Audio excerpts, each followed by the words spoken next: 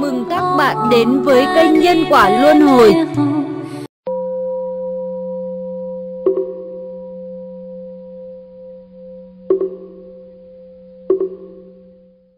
Kinh Địa Tạng Bồ Tát Bổn Nguyện. Hòa Thượng Tuyên Quá Lược Giảng. Dịch sang Việt ngữ Ban phiên dịch kinh điển. Xuất bản Tổng hội Phật giáo Pháp giới Dạng Phật Thánh Thành.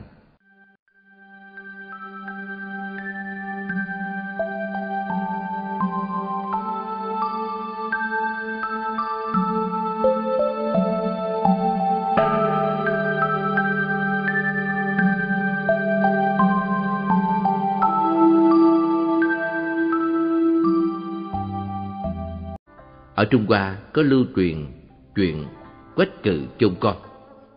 Vì sao Quách cự phải chôn con? Quách cự vốn là người nghèo khổ, hai vợ chồng có được một mùng con, lại còn mẹ già cần phụng dưỡng. Mẹ ông vì tuổi già, răng trùng hết nên không ăn cơm được.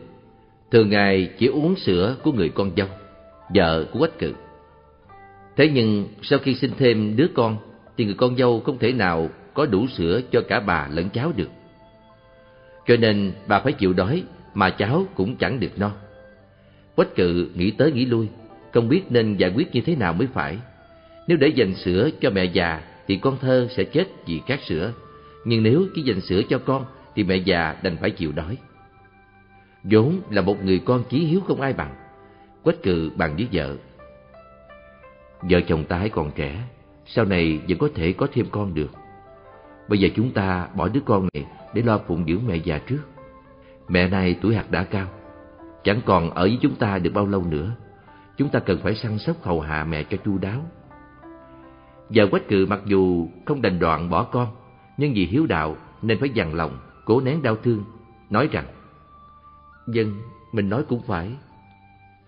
Sau khi bàn bạc xong, hai vợ chồng quách cự liền chuẩn bị mang con đến một nơi quan vắng xa thành phố để chôn.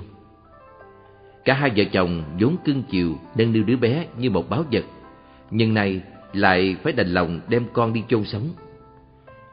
Nhưng khi họ đào hố thì lạ thay, đào lên toàn là vàng với bạc, và trên những thỏi vàng, thỏi bạc ấy đều có dòng chữ trời ban cho hiếu tử quách cự. Quách cự vì nghèo khổ nên bước đắc dĩ phải đem con đi chôn. Bây giờ vàng thoi bạc nén đầy dẫy, cho nên không cần phải chôn con nữa. Đây là một công án mà ở Trung Hoa ai cũng biết. Ở Trung Hoa có rất nhiều người tuy không phải là tham lam, muốn được phát tài, nhưng do biết đạo hiếu rất quan trọng, nên hầu như ai ai cũng hết lòng hiếu thảo.